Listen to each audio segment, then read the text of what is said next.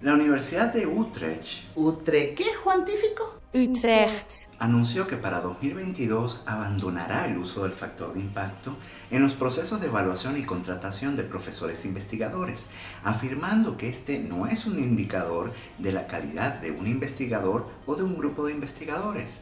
Más bien, como parte del programa institucional de ciencia abierta de esta universidad, dicen que ahora se centrarán en evaluar a los investigadores según su compromiso con la ciencia abierta, la publicación en acceso abierto, favoreciendo que compartan sus datos de investigación y por su trabajo en equipo.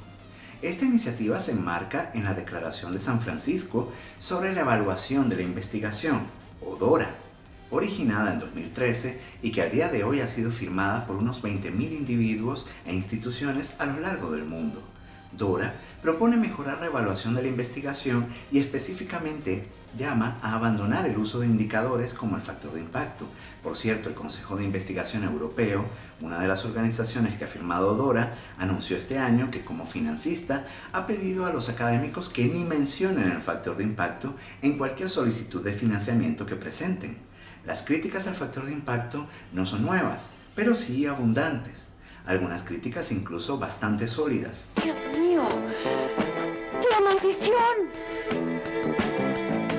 A pesar de esto, el factor de impacto es uno de los indicadores más utilizados para evaluar investigadores. De hecho, un 75% de las universidades europeas admitieron usarlo en una encuesta de 2019. Próximamente podría hacer un video solamente sobre el tema del factor de impacto. Sin embargo, lo importante que hay que saber es que se trata de un indicador propio de los reportes de citación en revistas o JCR, que son actualizados anualmente. El cálculo de este indicador implica la división de las citas que ha recibido una revista entre el número de documentos que ha publicado esta misma revista, todo esto en un periodo de tiempo determinado. También hay indicadores homólogos cuyo cálculo es similar. Estos indicadores similares incluyen el Site Score de Scopus y el SJR de Simago. Estos indicadores permiten clasificar las revistas de un área del conocimiento específica en cuartiles, según el valor numérico que obtenga cada revista en el indicador correspondiente dentro del índice de citación donde se utilice cada uno, es decir, el factor de impacto va a definir los cuartiles en JCR, el SciScore lo hará en Scopus y el SJR hará lo mismo en Simago. ¿Dónde está el meollo del asunto en las críticas al factor de impacto? El factor de impacto representa la hegemonía colonizadora de Thomson Reuters, su neoliberalismo y capitalismo. Clarivate, Nacho. Clarivate es la empresa Actualízate, mijito. El factor de impacto fue creado en 1975 por Eugene Garfield, en primera instancia para evaluar y clasificar revistas. Históricamente, el factor de impacto ha sido uno de los elementos que los bibliotecarios han usado para determinar cuáles son las revistas prioritarias para adquirir dentro de las limitaciones del presupuesto de las bibliotecas, que no permitían comprar todas las revistas que existían hace más de cuatro décadas, ni mucho menos permitirían hoy en día adquirir todas las que existen.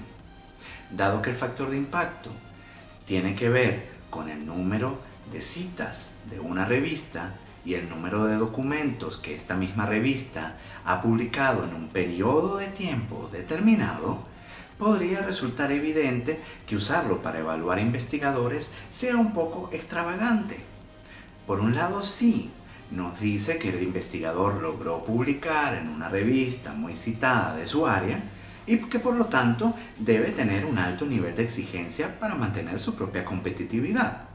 Pero el factor de impacto de la revista no nos dice mucho o nada sobre el investigador y su artículo, más allá que se publicó en una revista que tiene un grupo de artículos que han sido recientemente citados nos habla más de la popularidad de la revista y también que tal revista ha publicado artículos que han llamado la atención de otros académicos que los han citado.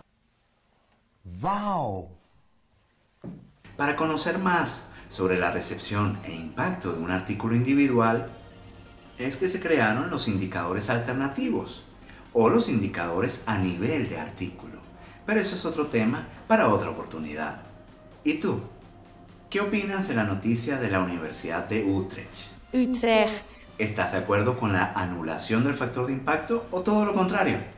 Usa la caja de comentarios para opinar. Me encantaría leer lo que piensas al respecto. Te invito a visitar mis redes. Aquí tienes los enlaces. Si te gustó este video, considera darle me gusta, compartirlo, comentarlo y suscríbete al canal. Apóyame en Patreon si deseas ver más videos como este. Gracias por ser parte del proyecto Juantífico. Hasta la próxima.